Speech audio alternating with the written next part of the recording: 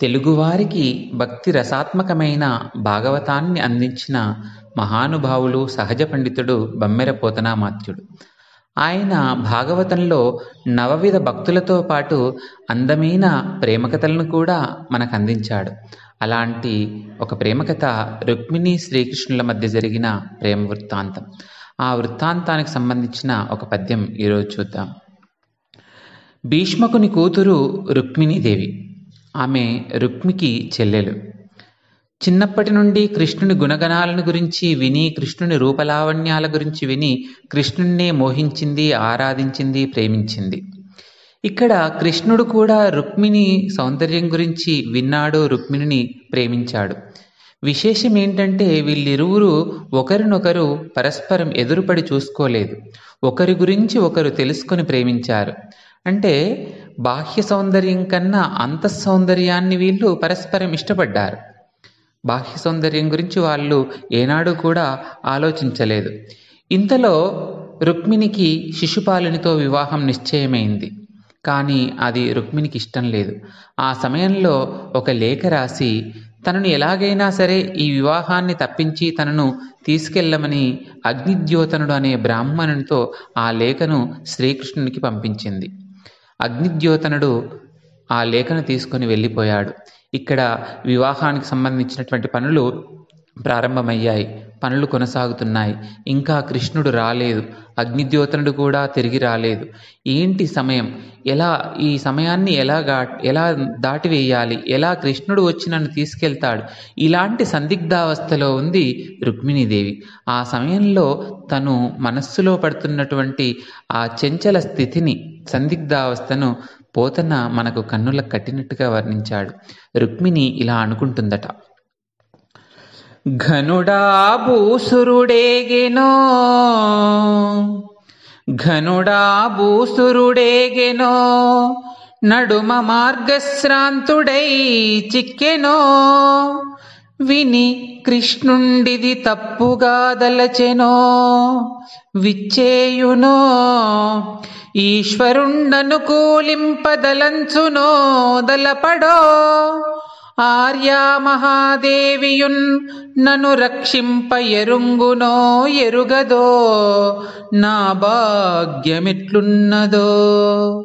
నా భాగ్యమెట్లున్నదో అని ఘనుడా భూసురుడేగేనో అగ్నిద్యోతనుడు వెళ్ళాడో లేదో లేదా నడుమ మార్గశ్రాంతుడై చిక్కెనో ఎక్కడైనా మార్గం మధ్యలోనే ఆగిపోయాడేమో. విని కృష్ణుండిది తప్పుగా దలచెనో గతంలో తానెప్పుడూ కృష్ణునితో మాట్లాడలేదు. ఇప్పుడు లేఖ పంపింది సరాసరి వచ్చి నన్ను తీసుకెళ్ళమని. మరి గొప్పవాడైనటువంటి ఆ కృష్ణుడు ఇది తప్పుగా అనుకుంటున్నాడేమో. విచ్చేయునో లేదో వస్తాడో లేదో? ఈశ్వరుండనుకూలింప తలంచునో తలపడో.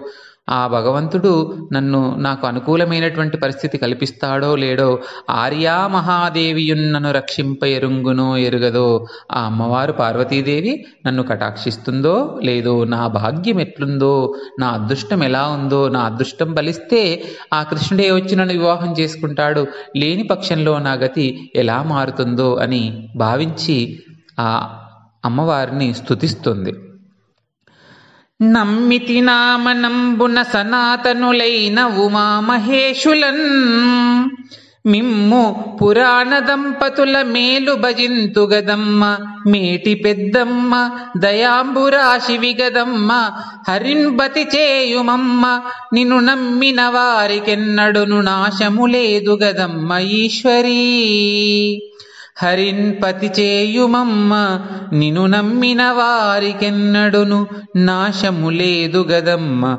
ఈశ్వరీ అంటూ నమ్మితి నామనంబున సనాతనులైన ఉమామహేషులన్ ఆది దంపతులైన ఆ శివపార్వతులను మనస్సులో నమ్ముకున్నాను.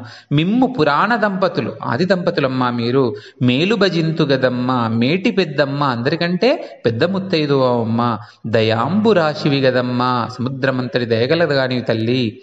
హరిన్ పతి చేయుమమ్మా. ఆ కృష్ణుణ్ణి నాకు భర్తగా సమకూర్చమమ్మా నిన్ను నమ్మిన వారికెన్నడును నాశనము లేదు గదమ్మా ఈశ్వరి అంటూ ఆ పరమేశ్వరిని రుక్మిణీదేవి ప్రార్థిస్తుంది. ఆ లేఖలో రాసిన విధానం ఏంటంటే ఈ వివాహ సమయానికంటే ముందే గౌరీ పూజ కోసం నేను పట్టణం దాటి గౌరీదేవి దేవాలయానికి వస్తాను. అక్కడి నుండి నీవు నన్ను తీసుకెళ్ళమని రాసింది. అగ్నిద్యోతనుడు ఈ విషయమంతా శ్రీకృష్ణునికి చెప్పి ఎలా వెళ్ళాలి? ఎప్పుడు వెళ్ళాలి? ఎలా ఆ రుక్మిణీదేవిని తీసుకువెళ్ళాలి? అనేటువంటి విషయాన్నంతా వివరించాడు కృష్ణుడు. ఆ మాటలకు సంతోషించి వచ్చి దేవాలయం నుండి రుక్మిణీదేవిని తన రథం పైన తీసుకుని వెళ్తున్నాడు. అప్పుడు అక్కడికి వచ్చినటువంటి రాకుమారులందరూ కూడా అడ్డగించాలని ప్రయత్నించారు కానీ కృష్ణునికి ఎదురు నిలిచి పోరాడలేమని భావించి ఇక్కడి వాళ్ళక్కడ వెళ్ళిపోయారు. చివరికి రుక్మిణి సోదరుడు రుక్మి మాత్రం చాలా దూరం వెంబడించాడు. వెంబడించి అడ్డుకున్నాడు. అడ్డుకొని నానా రకాలుగా కృష్ణుణ్ణి తులనాడాడు. కృష్ణుడు చంపబోతుంటే రుక్మిణి బతిమిలాడుకుంది తనను అన్నను క్షమించి వదిలిపెట్టమని.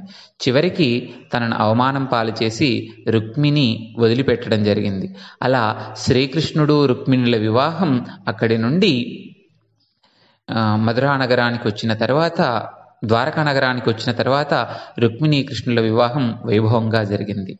ఇది రుక్మిణీ కృష్ణుల ప్రేమ కథకు సంబంధించినటువంటి సమాచారం.